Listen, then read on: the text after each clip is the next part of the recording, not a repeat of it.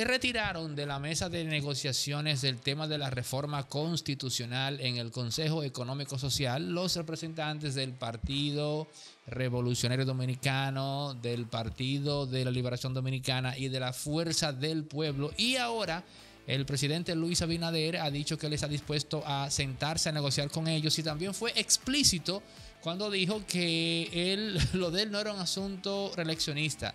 Y dijo Mario, esto me, dio mucha risa, ellos dos, ellos dos han sido los que modificaron la constitución eh, para fines políticos. Ese no es mi caso, eso dijo Luis. De todas formas, hay un miedo, no sé si miedo aparente, eh, por parte de los partidos opositores a que se reforme la constitución. ¿Qué tú lees en todo esto, Mario? Mira, tú sabes que el tema de la reforma constitucional, yo tengo mi, posición con referente a que se llevara al CES, al, centro.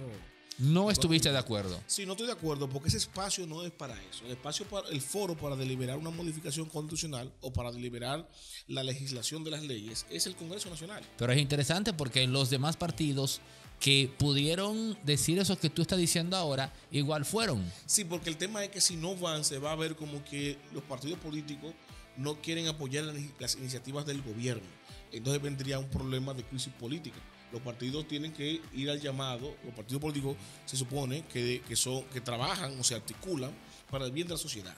Y si el gobierno no importa del partido que sea, hace un llamado a los partidos políticos para sentarse en la mesa, en el foro de, que tiene, para donde se articulan las propuestas sociales y laborales, deben asistir y después plantar su posición. Por eso que tú ves que los partidos políticos fueron al CES, convocados por el gobierno, por un sinnúmero de reformas, salvo el tema de la modificación constitucional. Entonces, ¿qué sucede?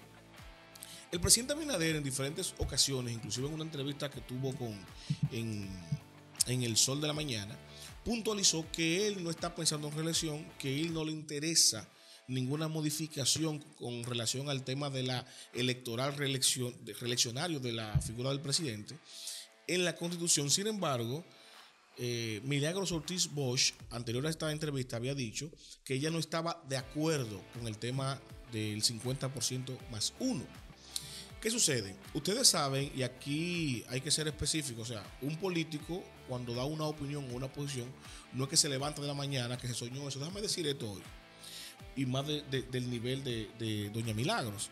Eh, esas posiciones son consensuadas, son habladas, son analizadas políticamente dentro de una estructura. Entonces, aparentemente, el PRM, el partido de gobierno, vio como una estrategia política poner en el tapete y mediático el tema del 50% más uno, entendiendo que podrían ganar simpatía popular para ello justificar esa modificación. Sin embargo, lo que hizo fue radicalizar todos los partidos de oposición para que no se modificase la constitución. ¿Me entiendes? Entonces ahí tú dirías, conchale, pareciera que fuera a propósito para torpedear el asunto de la modificación de la constitución con relación a, la independencia del Ministerio Público, cuando, son cuando es el mismo gobierno que lo está proponiendo. Pero ¿qué pasa? ¿Por qué los partidos políticos se, retiran de, esa, de esa postura en el CES? porque independientemente de la intención del presidente, al final la modificación a la constitución no depende del presidente de la República, sino del Congreso y los congresistas. Luego que se abre el proceso de una reforma a la Carta Magna, ya ahí se puede entrar cualquier tema. Cualquier legislador puede tomar un, turno y proponer, señores, vamos a debatir tal punto, independientemente de lo que diga el presidente. O sea que aunque el presidente no quiera, si se abre la reforma condicional y uno de sus legisladores, senadores o diputados que tienen la mayoría en el Senado y, están piquera con la posición en, el Congreso, en, la, Cámara Baja, puede proponer ese tema y ya se va a debatir. Y si ellos lo proponen ese debate y se acepta mayoritariamente y se modifica, pues entonces ya pasó el tema de la modificación pero en ese caso, de la reelección, independientemente de lo que quiere el presidente. Pero en ese caso, eh, quien debería temer más entonces es el propio presidente. No, no, porque yo lo que pasa y ahí vienen los tecnicismos y lo que la gente quizás no, no, atina a entender. Las modificaciones a las leyes no son retroactivas. Por ejemplo, una modificación a la constitución en esta coyuntura le conviene mucho a Binader, independientemente de los puntos que se modifiquen. ¿Por qué? Porque sería una nueva constitución. Entonces, como la, ley, las leyes y, principalmente la constitución se legisla para el porvenir, si se modifica una coma de la constitución hoy, ya el primer periodo presidencial de Luis Abinader no es el 2024. Sería si él se, si él se repostula y ganase el 24-28. Y es entonces eso lo que explica el temor de Leonel y de todos los partidos de oposición de una modificación en esta coyuntura. Porque si no se, si no se toca el tema de la reelección, que es vital, dicen ellos, aunque no se toque ese tema y, de que, y nos vamos con la agenda o, o la línea editorial del partido de gobierno de que no se va a tocar el tema de la reelección, técnicamente, un tecnicismo legal implica, deja implícito, que este periodo ya no se le contabiliza al presidente como su primer mandato, porque él fue elegido con una condición anterior, por ejemplo, al 2015. Si se modifica en el 2022 o 2023, él se estaría eligiendo ya para esa, esa legislaria a partir del 2024. Y si él se reelige en el 24, sería su primer periodo con esa constitución. ¿Me entiendes? ¿Me captas? Entonces él puede seguir tres periodos consecutivos y entonces ahí hay un tema político. Entonces necesariamente, si se modifica, hay que tocar el tema de la reelección presidencial. Para dejar eso claro. Claro, recuerda que eso fue lo que pasó con Danilo. Cuando Danilo está en 2012-2016, que se modifica en el 2015 para permitirle repostularse en 2016 y 2020, ¿verdad? El tecnicismo era que el periodo 2016-2020 sería su primer periodo. Y entonces podía repostularse para 2020-2024. La solución que se le buscó a eso que se trató el tema fue poner ese transitorio que le prohibía única y exclusivamente a Danilo Medina que no podía ser candidato en este país presidencial. ¿Para qué? Para evitar que ese tecnicismo no le abriera paso a él repostularse en el 2024 y por eso el PLD se, vio obligado a, ir a una... Es que ese tecnicismo, quien lo consintió fue él. ¿Quién? Danilo Medina. No, no, ellos consintieron, o sea, el partido se puso de acuerdo y pusieron el transitorio. Pero ese transitorio de qué habla? De la reelección presidencial. Entonces la propuesta del, gobierno, del partido de gobierno, es no tocar ni hablar del tema de reelección. Cuando, te repito, eh, queda implícitamente eh, habilitado el presidente para un tercer periodo consecutivo, que sería su segundo periodo consecutivo. Entonces, ¿qué, dice, la oposición? No, pero no me va con el cuento. Eh, no, no, PRM, no gobierno, no presidente. No me va con el cuento de que no se va a tocar tema de la reelección. Cuando usted sabe que si se modifica, usted puede seguir para un tercer periodo consecutivo. Debe tocarse ese tema. ¿Me entiende? Ahora, si usted no quiere plantearlo hacia la, hacia la población, porque es un tema rejugado, es una papa caliente. A la gente de que le hablan tocar la condición para, una, para el tema electoral, la reelección presidencial, la gente se pone así. Recuerda que en, el último tramo del gobierno de Danilo, la aprobación de Danilo estaba en los 70, 80%, pero la aprobación para una, para una repostulación de Danilo no llegaba al 30%. Ustedes le hicieron daño a ese hombre con eso. ¿Qué te ¿eh? decir? No, no, no. Escucha lo que está diciendo la población. O sea, nosotros aprobamos la gestión de gobierno de Danilo. Ahora, no apoyamos que él se repostule. Y él no lo escuchó.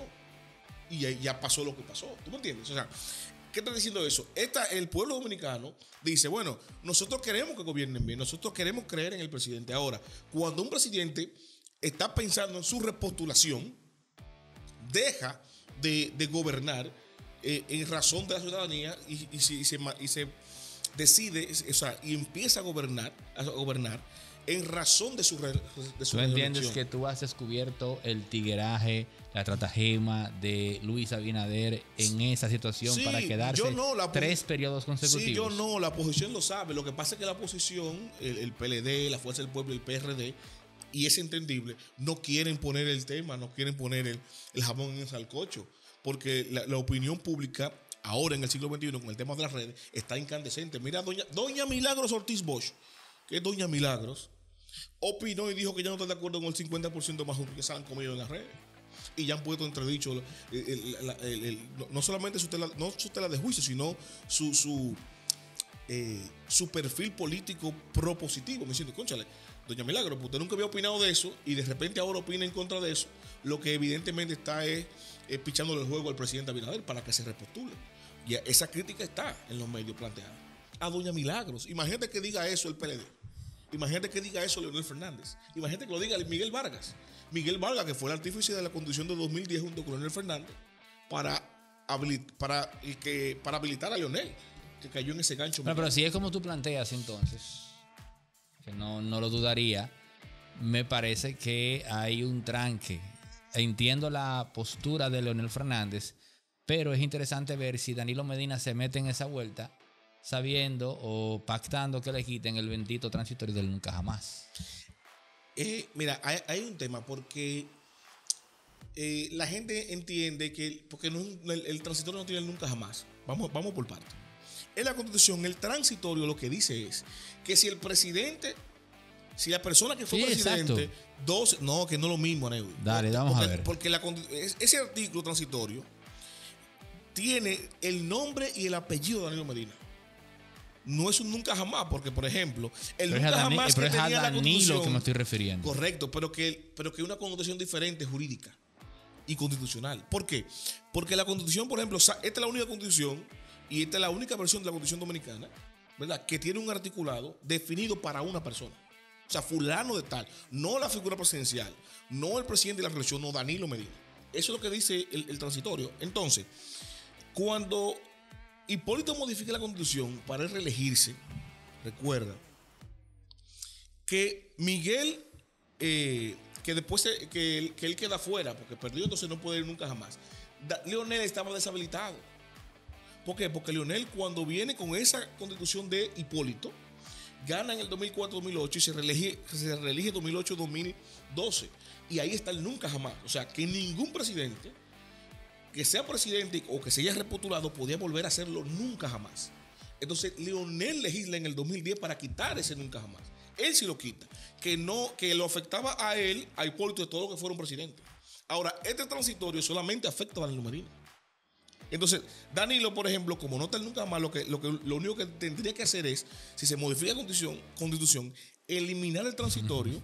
Sería una constitución nueva. Si eliminan ese transitorio que tiene su nombre y apellido, ya él podría estar técnicamente habilitado, normal, como está Lionel, como está Hipólito, para repostularse si gana, volver por cuatro años más. Mira, si se dan todas esas variables, lo que espera para, hacer un pronóstico. Y por eso, y por eso es que los partidos políticos tienen una segunda eh, razón por la cual no llevar este debate al, al CES. Y, ahí ya, es, en esa opinión, eh, colindan con la mía. O sea, el CES no es el espacio para tu debate directo. ¿Por qué? Porque una reforma constitucional es un pacto político de los políticos y de los partidos políticos no del empresariado. Y el CES es un espacio de un foro abierto para que entren todos los sectores, sociedad civil, el empresariado y tal. Se supone, y, eso es lo que manda la ley dominicana y la constitución, que el Congreso Nacional de la República es el foro representado por los congresistas para una modificación constitucional. Yo lo que te voy a decir. Si en el 2024 se dan todas esas variables que tú señalas, es decir, un, evidentemente, eh, Luis Abinader en pro de su reelección, pero para colmo una reelección que pudiese significar un tercer periodo consecutivo, por lo que has planteado, de que la constitución, una vez reformada, aplica a partir de ese momento, para lo cual su primer periodo sería el que él ganase en esa constitución. Pero imagina eso, imagina a un Leonel Fernández y a un Danilo Medina también siendo candidato. Lo que va a pasar en el año 2024 es una hecatombe que yo no diría que va a comprometer el sistema de partidos, pero sí va a comprometer la legitimidad y la permanencia de esas figuras más allá de esas elecciones. Con lo cual, una vez más, volvemos a lo que he estado planteando desde hace ya más de un año, de que en el 2024 le veremos la cara o la cabeza a una o dos figuras emergentes que van a quedar muy bien posicionadas.